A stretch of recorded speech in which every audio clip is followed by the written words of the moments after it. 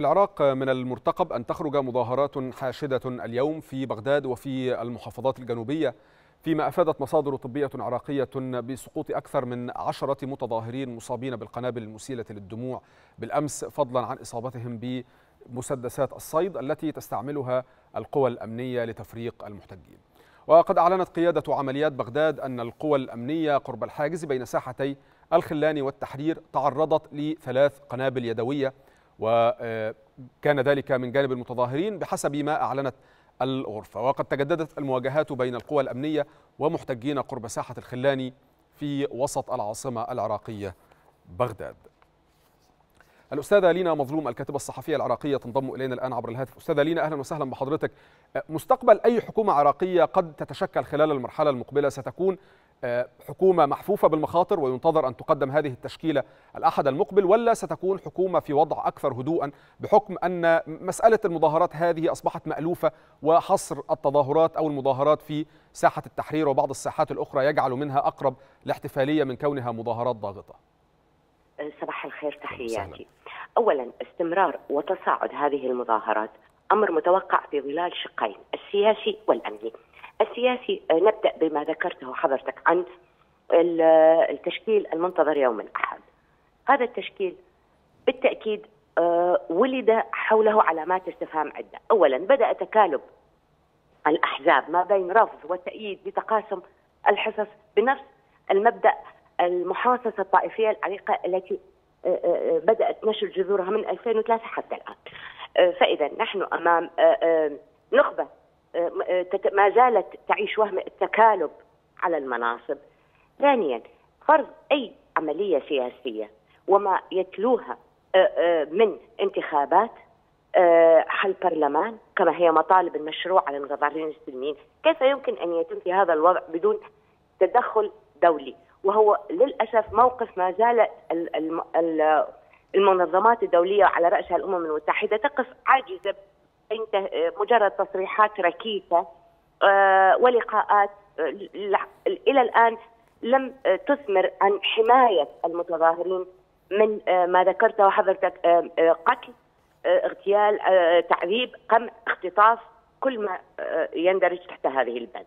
فإذا ولادة هذه الحكومة ونحن رأينا منذ البارحة بدأت الأحزاب منها من يرفض ومنها من يتحفظ يعني هذا التجاذب لا يصب بالتأكيد في مصلحة أجواء تهدئة بين العملية السياسية وبين مطالب مشروعه للشارع.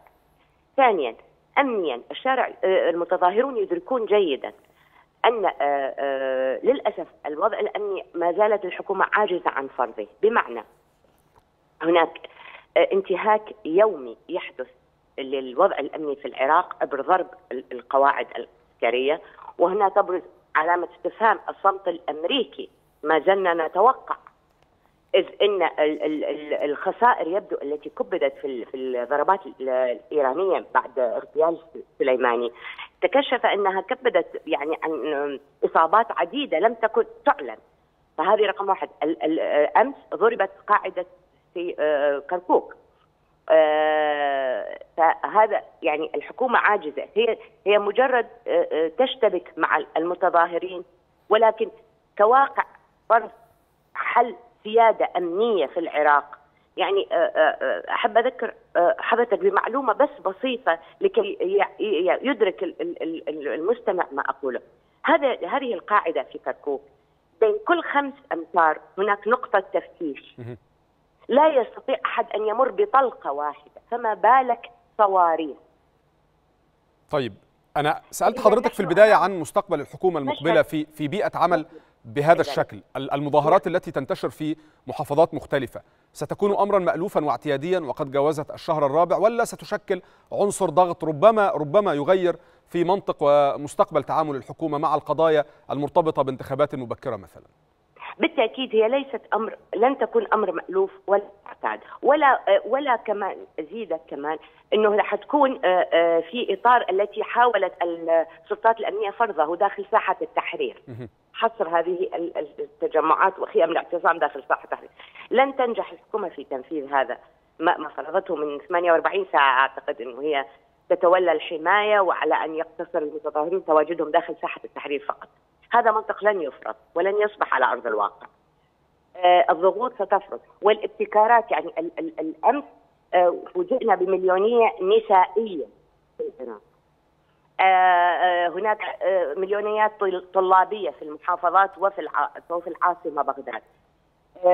الضغط مستمر ولن يصبح امرا واقعا، بالعكس هو من شانه تعطيل يعني المسار السياسي بالشكل الذي يفرض عليهم تنفيذه، فلم تنفذ أي من مطالب المتظاهرين حتى منذ شهر أكتوبر حتى الساعة الحالية. وما الذي سيتغير مع استمرار هذه المظاهرات إذا كانت استمرت على مدار كل الأشهر الماضية وسقط على إثرها مئات القتلى وربما أكثر من ذلك من المصابين ولم يتغير من الأمر شيء؟